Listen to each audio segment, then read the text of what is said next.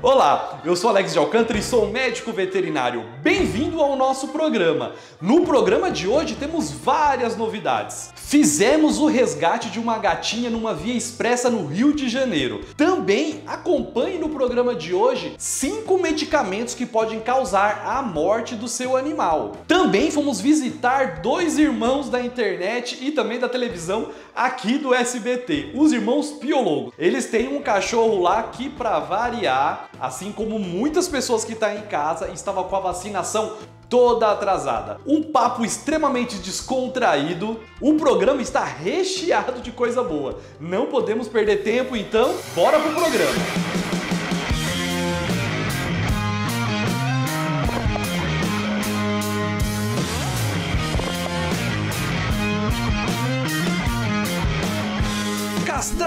Cães, melhor no centro de controle de zoonose ou em uma clínica veterinária É um bicho extremamente forte. Esse bico deles é para quebrar corpo. Então, assim, se ela ter arrancado o meu dedo, ela teria arrancado.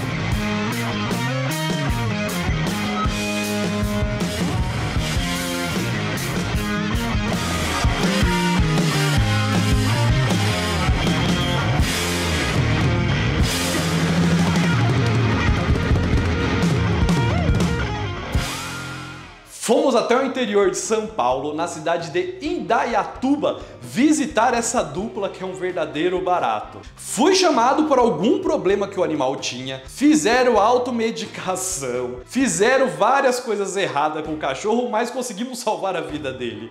E também ele estava com a vacinação atrasada, então já coloquei a carteirinha em dia e demos várias dicas de como cuidar melhor do cachorro deles. Acompanhe. Tudo bom, pessoal? Hoje viemos visitar aqui uns caras que trabalham muito. Nessa época de crise, os caras sim dão várias dicas de mercado de valores, de trabalho. A gente vai cuidar do cachorro deles aqui. Vamos conhecer os caras aqui, estão trabalhando, vamos atrapalhar eles aqui um pouquinho. Caraca! Nossa, vocês estão aqui, mano! E aí, cara? Me pegou de surpresa! cara! Eu tô dentro da minha casa, tem um câmera e um cara dentro da minha casa. Você vê? Como você entrou? Embaixo da casa tem tudo isso, isso aí embaixo da piscina. Eu vou reclamar com o síndico! E eu trabalho assim, ó. O dia inteiro, capacete, peruca. Nunca se sabe, pandemia, né, velho? Tá preparado? Vai que sai um cara debaixo da terra pra me filmar. Exatamente, já tá protegido. Havaiana de pau!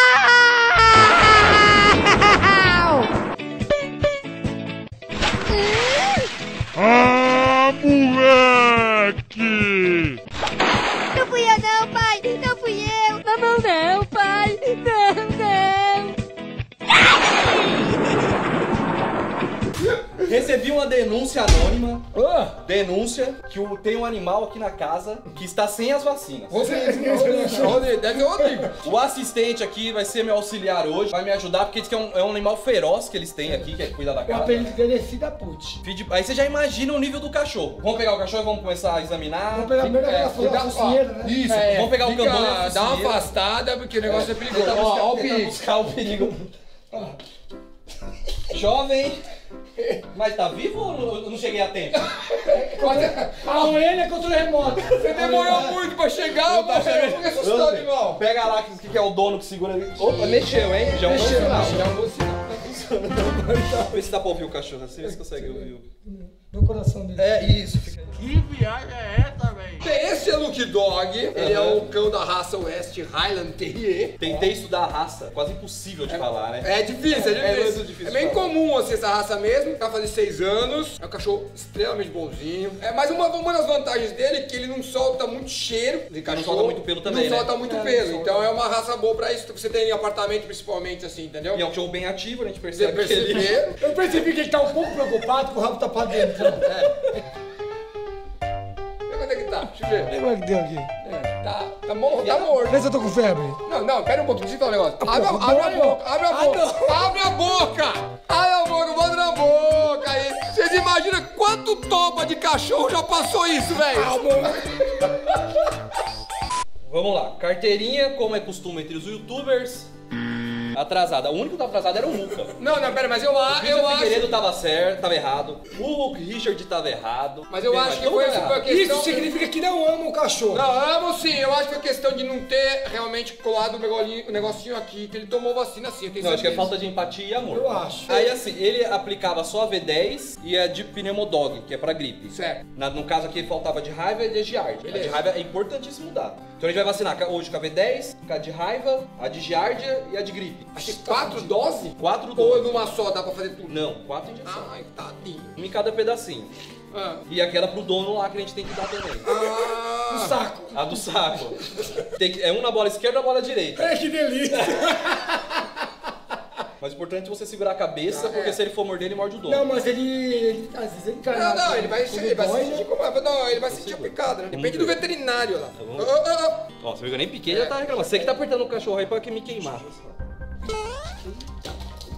Que dói mais. Calma aí, Luke. Rosto! Ele tá vivo! Prometo, é a última. Depois, Vai matar alguém, eu vou ter que estar longe. depois vai me ver só na hora de arrancar as bolas. Acabou. Aê! Aí viveu, gente. Calma, calma, calma, amigão. Pronto, pronto, pronto, pronto. Ô, Ricardo, seu Lazare, da próxima vez você dá duas vacinas direito. Que eu tomo uma durante o ano, tomo outra de uma depois. vez. Tomo Ah, cara, um combo, velho. A cara de tristeza que meu Deus do céu, quase matar alguém. Pergunta aqui, né? Porque como foi várias é, vacinas, ele pode ter algum efeito colateral, tipo ficar mais sonolento? Pode ser que hoje fica meio febril. Tá. Não é comum. Se ele ficar meio. É que é difícil saber se ele tá triste ou não. É. Quando o cachorro é- é- se mexe, se ele fica meio quietinho no canto, você tá, tá, vai dar uma de pirona ali e resolve. É. Mas, mas vamos dizer assim, como ele tomou 4 hoje, dá umas 10 gotinhas de pirona à noite, só pra ele dormir de boa. Tá. Os caras foram os primeiros da internet. Quando entrou na internet, tudo era mato. Quando eles Tudo chegaram. era mato. Eles, os primeiros que passaram foice na, lá na internet foram os caras. Bota mato nisso, nem funcionava. É que Modern, Internet de Mo- escada. Modern S Robotics, que era aqueles que ligava, só podia usar o telefone ou, ou a internet. Era só a noite que é, é, é, era só a noite. O canal dos caras tá aqui embaixo, todo mundo conhece. Mas tá aqui embaixo. Se vocês quiserem seguir o Instagram dos caras, tudo direitinho. Tem o Luke Dog também tem o Instagram, que é Luke Ele Dog tem também. Vai estar o Instagram dele embaixo pra vocês seguirem também. Me seguirá no Instagram também. Em breve, daqui uns dois, três meses, vão fazer a castração dele, vão acompanhar lá na clínica. Se inscreve no canal, deixa seu like, vai no canal dos caras. Mas se você precisar de um bom veterinário, cara, tem um monte aí. Tem um monte. Você pode pro- joga no Google. joga no Google, precisa de um bom veterinário. É nóis. Até mais. Tchau, tchau, tchau. Médico veterinário, monte seu laboratório interno com a FocoVet. Com equipamentos facílimos de manusear e super acurados, você terá excelência em diagnóstico e muita lucratividade. Entre em contato com a gente que nós ajudaremos você a dar esse passo super importante na sua carreira. Já imaginou ser abandonado numa via expressa? É maldade humana, né? Com certeza a intenção era que ela morresse. Só que não. Chegamos a tempo no exato momento que ela poderia ter sido atropelada. Parei o carro aonde dava. O Eduardo, que é o produtor do canal, foi atrás de mim com o celular. Por isso que a imagem não é tão boa assim, mas ele conseguiu captar o momento do resgate. Acompanhe. Alex aqui parou pra pegar um gato.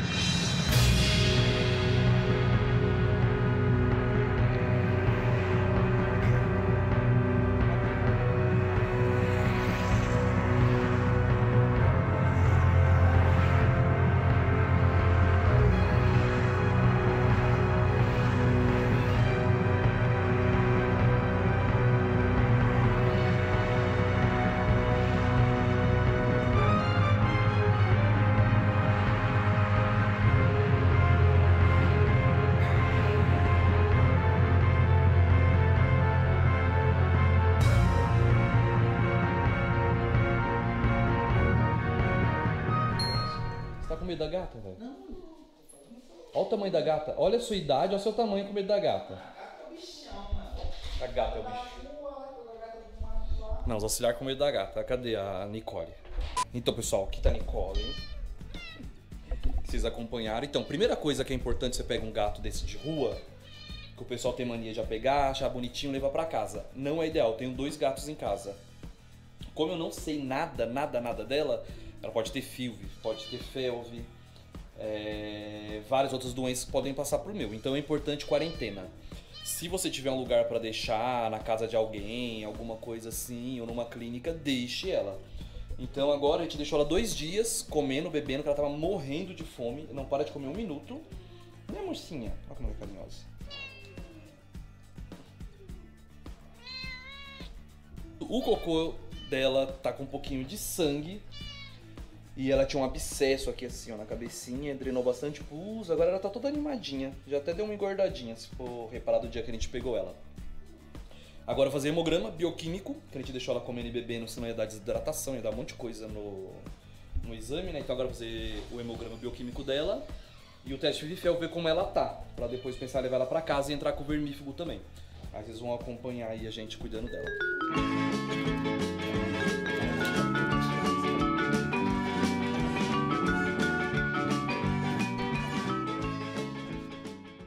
E agora vamos começar o nosso quadro de dicas. E hoje vamos falar de um assunto muito sério, um dos vídeos mais vistos e comentados no meu canal do YouTube. Aliás, meu YouTube tá aqui, vai lá, se inscreva no canal, tem várias coisas interessantes lá para você cuidar melhor do seu pet. E é exatamente cinco medicamentos que podem causar a morte do seu animal e são medicamentos muito comuns que deve ter aí na sua casa. Afinal de contas, brasileiro adora se automedicar vamos logo pro primeiro. O primeiro é o ibuprofeno, muito comum para dor de cabeça, dor no corpo, todo mundo usa. E qual é o grande problema de você dar uma medicação que o animal não está acostumado a tomar, não pode tomar e é tóxico para os animais? Se você tomar uma medicação que não cair muito bem, o que você faz? Corre para o seu médico e suspende a medicação na hora. É verdade.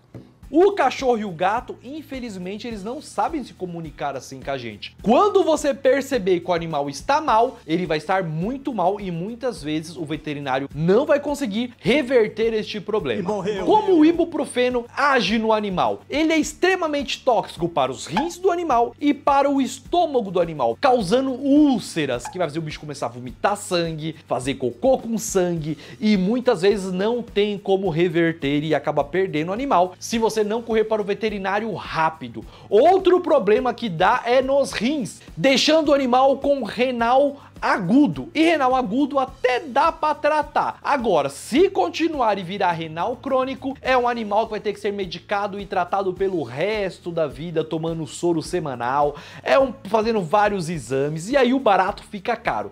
O outro, então, é mais comum ainda, é o diclofenaco de sódio, que é o mais conhecido como cataflã. Mas hoje em dia a gente pega bastante genérico, que é um pouquinho mais barato, né? Então, o cataflã genérico, o diclofenaco de sódio, o próprio cataflã, ele age mais ou menos igual o ibuprofeno, só que é muito, muito, muito mais forte. Ele é um problemão. E tem vários estudos que diz de cada três animais, pelo menos um já tomou cataflã. Então é algo muito sério. Por isso, espalhe a notícia para nunca dar cataflã para o animal. O cataflã pra gente ele age como um anti-inflamatório. Para o animal, qual é o grande problema do cataflã? Ele age também nos rins e no estômago, só que é muito mais sério e muito mais perigoso. E qual é o grande problemão nele? Ele é tão forte, se você continuar dando, em um a dois dias chega a causar perfurações no estômago. E perfuração no estômago, meu amigo, dói, dói, dói muito. E o grande problema, às vezes extravasa o suco gástrico dentro da cavidade abdominal do cachorro. E aí o problema fica extremamente sério e provavelmente o animal vai chegar à morte, que suco gástrico na cavidade é morte na certa. O próximo, muito comum também, que é o paracetamol. E já vou dar um spoiler do quarto, que é a aspirina. Deixa o sangue fininho e não coagula. E ele também é de efeito prolongado. Você deu uma vez pro animal, ele fica vários dias no organismo do animal, deixando esse efeito de anticoagulante. Qual é o grande problema de ele ter um anticoagulante? Primeiro, não vai resolver o problema do seu pet e vai causar vários problemas, como hemorragia. Se o animal tiver com uma úlcera, vai ser muito mais hemorrágico. Problema na urina, muito mais hemorrágico. Por isso, evite a aspirina e também o paracetamol. E o último da lista de hoje, mas não menos importante, já vão brigar comigo. Ai, o meu veterinário mandou. Ai, o dono do pet shopping mandou. Ai, a minha avó medicou o cachorro dela porque o veterinário mandou. Sim, Aí está o grande lance da automedicação. Estamos falando da dipirona. Muito comum darmos dipirona para os nossos pets. Todos podem tomar dipirona. A dipirona não é tóxica para os animais, só que tem a dose certa, os motivos certos para você dar. A dipirona é um analgésico muito utilizado na medicina veterinária, mas tem que saber o método de ação. Não é à toa que o médico veterinário, o médico humano, estuda de 5 a 6 anos, mais pós-graduação, residência e tudo mais que a gente estuda para saber cada classe de medicamentos. O que é a dipirona? Ela é um vasodilatador, ela dilata os vasos, causa hemorragia se não for usada com parcimônia e com qualidade. Tem alguém dormindo aqui? Eu vou começar a mostrar para vocês meus bichos aqui no programa. Ó, essa aqui é a Lili. Você me acordou? Você me acordou. É minha neném, é a mais novinha que tem aqui em casa tá com seis meses. É uma gatinha Sphinx, aqueles gatos sem pelo. Sou apaixonado por essa raça, tenho dois, tá bom? Continue aí no programa e divulgue para todo mundo que você conhece que agora temos um programa sobre medicina veterinária aqui na TV, tá bom? E vamos lá que o programa ainda não acabou. Médicos veterinários, as novas tecnologias para diagnóstico permitem que você faça exames de hematologia, bioquímica, urinálise e muito mais em passos super simples e rápidos, com bastante lucro para sua clínica. Invista em um laboratório interno e evolua profissionalmente ainda mais. Para isso, conte com a FocoVet, a maior especialista em diagnóstico do país. Bom, notícia boa por enquanto, deu Firifelv negativo. Já é um bom sinal que é a, uma das doenças assim, mais sérias que transmite muito fácil. Então, uma das maiores preocupações quando você pega um animal na rua é de levar doenças infecciosas para casa. Então, pelo menos Firifelv ela já não tem. Já é um bom sinal.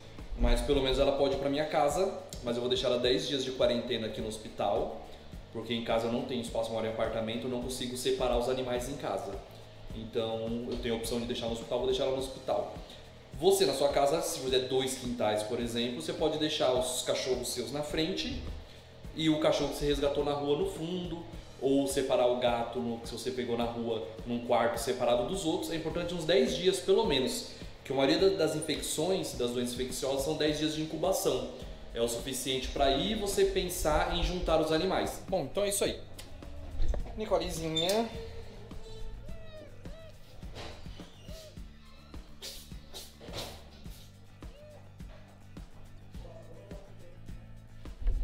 Toda simpática, em breve vai para casa. E chegamos ao fim do nosso segundo episódio dessa primeira temporada. Espero que vocês tenham gostado desse episódio. Espalha para todo mundo que a gente está aqui todo sábado às 7 horas da manhã, trazendo muita informação para cuidar bem do seu pet. Tenho que agradecer muito os nossos parceiros. A Focovet, que é excelência em laboratório veterinário. Eles têm tudo para estar equipando o seu centro diagnóstico, o seu hospital veterinário ou mesmo clínica veterinária. Entre em contato com eles, faça um orçamento que você vai se surpreender o quanto esse laboratório vai ajudar você no seu diagnóstico. E a Cão Médica, que também é excelência em produtos veterinários. Começaram com ortopedia, mas agora tem uma gama gigantesca de aparelhos e equipamentos veterinários. O melhor custo-benefício. Vale muito a pena entrar em contato com eles lá pelo Instagram e eles vão te ajudar com tudo para montar a sua clínica veterinária. E também a agência Rico. Se você tem um comércio, se você não está na internet, você está fora do mundo. Entre em contato com eles. Eles têm muitos pacotes para te ajudar tanto no Instagram Instagram, como Facebook, como YouTube. Então vale muito a pena entrar em contato com a agência Rico, que também produz este programa, o meu canal do YouTube e este programa vai ser disponibilizado também do YouTube. É isso mesmo do YouTube para a TV e da TV para o YouTube. Vai lá, aponta a câmera do celular para este QR Code Entre no meu canal, se inscreva e fique por dentro. Lá tem vários vídeos que com certeza vai ajudar você. E temos um encontro marcado para o próximo sábado às 7 horas da manhã aqui na VTV. Até o próximo programa.